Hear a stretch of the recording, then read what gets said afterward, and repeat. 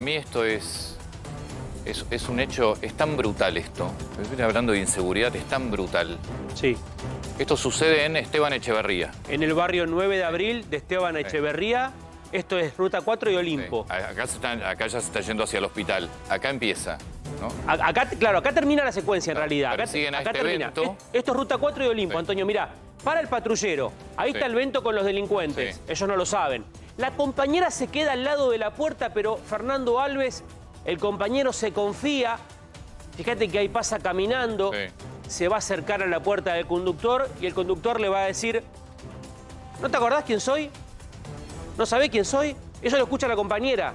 Y, e- y ella vuelve para atrás. Acá está, ahí se llega a ver, está al lado de la, o sea, es, le dispara a medio metro. a medio metro. La compañera Lo vuelve a sus pasos. Sí. A ver, aquí la verdad es que Fernando Alves termina muriendo. Tenía un disparo en el cuello. Se da cuenta la compañera que tenía un disparo en el cuello. En caliente, él lo que hace es dar la vuelta y tratar de. Esto lo cuenta la compañera. Dice, él no sabía que le habían disparado, pensó que no le habían hecho nada. Cuando yo le digo que tenía un disparo en el cuello, vos sabés que lo, muchas veces las balas, cuando ingresan, Mm. eh, dejan un orificio muy chiquitito. Muy chiquitito, depende del calibre. Acá, acá empieza. Dan, dan, vuelta, dan un 180 y se van al hospital, no los, por eso no, Claro. los, no los persiguen. Por Ah. no decir, che, ¿por qué no los persiguieron? Claro. Porque se fueron al hospital, se estaban muriendo, que terminan muriendo el policía. Acá termina, acá termina la secuencia, ¿no? Lo venían persiguiendo. Ahora, vos fijate la situación, porque ¿qué charlaba hoy yo con, con dos jefes de la policía que les digo, está bien el accionar, yo hoy Fernando está muerto, lamentablemente, no puede hacer nada, pero es que pudo haberse confiado, porque los venían persiguiendo. Entonces, les hacían sirena porque el auto no, no, no se detenía, se detienen acá, en Olimpo y Ruta 4, cuando se detienen ahí, en vez de abrir las puertas y decirles que bajen con las manos en alto, porque no, digamos, no acataron una orden, porque ahora vas a ver, es lo que decís vos, acá ya revierten y, y se van, ¿no? No los persiguen, No, ahí... acá se van al hospital. Claro, él siente que algo pasó, no sabe qué. La compañera le dice te dispararon. Él va a hacer un par de cuadras, se va a Claro, desvanecer. pues él se va manejando él. Claro. Sí. A- acá empieza la secuencia, ¿ves? Mirá. Sí. Esto es ruta 4. Acá los están persiguiendo. El vento no acata orden. Acá ves al patrullero. ¿Ves? Lo sigue. Ahora, en ningún momento acata la orden, entonces. Esto va. Justamente termina acá la secuencia. Sobre Olimpo. Cuando el auto se detiene, vos fíjate que hay otros autos, está lleno de gente. Lo que termina pasando es que el policía, uno se confía, que es lamentablemente la víctima, y la compañera no. La compañera no se confía, fíjate que queda al lado de la puerta. El procedimiento habitual, me, decían hoy, es abrir las puertas del auto, usarlo porque está blindada la puerta del auto, vos eh, a través de la, de la ventana sacar tu arma reglamentaria y decirle que bajen con las manos en alto, que pongan las manos sobre el techo. Y ahí comenzás un procedimiento. En todo caso, si te- ves que la situación puede llegar a desbordarse, o te defendés o pedís apoyo.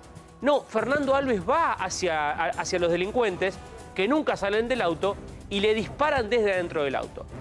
A esta altura, a esta hora de la mañana, no hay nadie detenido. Y no va a haber. Y lamentablemente el auto apareció prendido fuego en Budge. Eh, y, y Fernando termina muriendo en el hospital de Montegrande. Esto fue, como dijimos, en Esteban Echeverría. Esto es el barrio 9 de abril. Ahora, vos fíjate la cantidad de autos, ¿no? Plena tarde. Y sabés que contó la compañera, eh, así quedó el auto que obviamente era un auto robado.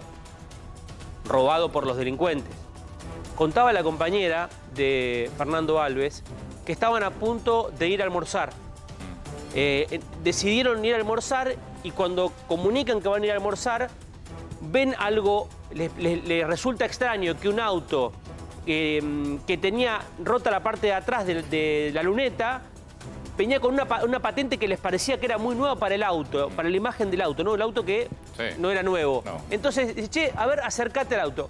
Se acercan al auto, con las sirenas le piden que aminore la marcha, no lo hace, empieza una persecución y después se termina confiando. Eso todo lo que cuenta el relato es en base al testimonio de la compañera de Fernando Alves, que es la que estaba al lado de él, que es la que no se termina confiando. Ahora, yo digo la imagen, ¿no? Vos estás al lado de la puerta del conductor. Sí. Estás a 50 centímetros. Es decir, te dispararon, a- te fusilaron. Sí, lo fusilaron. Te fusilaron. Vos viste cómo se ve el, el- el humo Y de los disparos. y seguramente si por casualidad lo llegaran a detener, van a ver que tienen antecedentes. Porque esta es la otra parte. Sí. Que en algún momento alguien en la justicia decidió liberarlos. Como pasa siempre. Bueno, vos fíjate acá, ahora si, si prestás atención, eh, que estamos viendo el detalle, fíjate cómo se va a ver Sí, que hay tres disparos y se va- van a ver el humo de los tres disparos. Al lado del pilar este. Claro, y, la compa- y el detalle es que la compañera se queda acá, en la puerta. Está cerca igual, pero se queda acá en la puerta. Es lo que tenía que haber hecho, lamentablemente, este policía que arriesgó su vida por, por nosotros, porque no, de esta forma nos cuida la policía también. Ahora, mirá el detalle. Habla algunas palabras. Sí. Ahí va. Ahí está, Uno, ahí dos, tres. Tres disparos. Tres disparos. Ella sube, claro, pensó que lo iban a perseguir y él decide dar la vuelta. Y ella, se- ella se da cuenta después que él tenía un disparo en el cuello. Él no sabía que tenía un disparo en el cuello. Se da cuenta después, porque maneja él.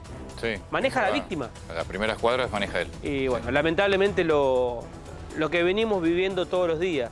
O sea, ya no hay horario. ¿Viste? Ahora es que antes decíamos, después de las seis no salgo de casa. No, no. Ahora es, a cualquier hora te puede pasar cualquier cosa.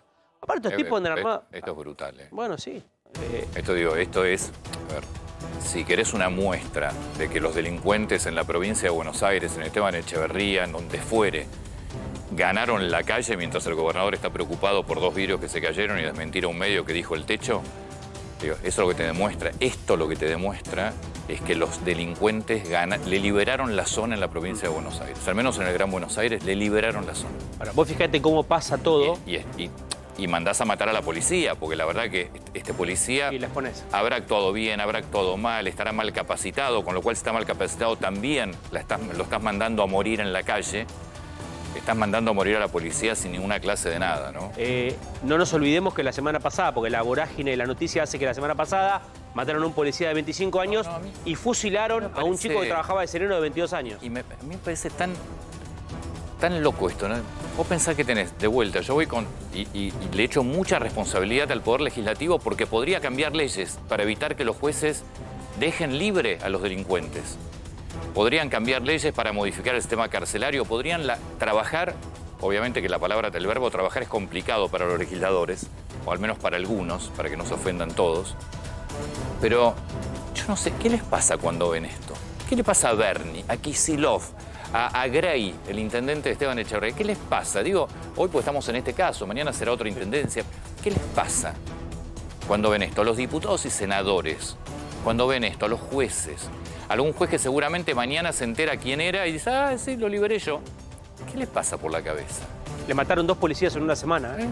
No pasa nada. en un año electoral que supuestamente uno No, tiene no un poco más de... ¿no? está, Carlos, no olvidate, no pasa nada.